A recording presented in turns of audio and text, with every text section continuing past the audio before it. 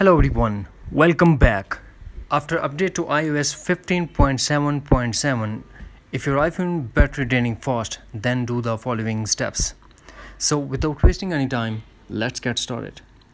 First of all, we have to launch settings, then tap on privacy and tap tracking. Now turn off allow apps to request to track. Then go back to privacy and tap on location services turn off location services. Then tap on location alerts and turn off show map in location alerts. After that we are going back to settings then tap general tap background app refresh tap again background app refresh and turn off background app refresh.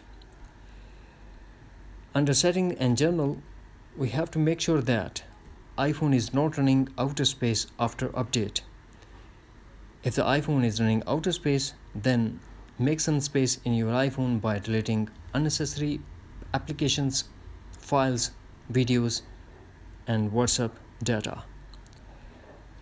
Now go back to settings, connect to Wi-Fi to your iPhone and leave your iPhone for minimum 30 minutes to complete the installation process of new iOS update. After that, settings, battery, and enable low power mode. Now force close all the apps that are running in the background and force restart your iPhone according to your iPhone model. That's it. Hopefully friends you found this video helpful so please do like share and subscribe. Thanks for watching. Take care. Bye bye.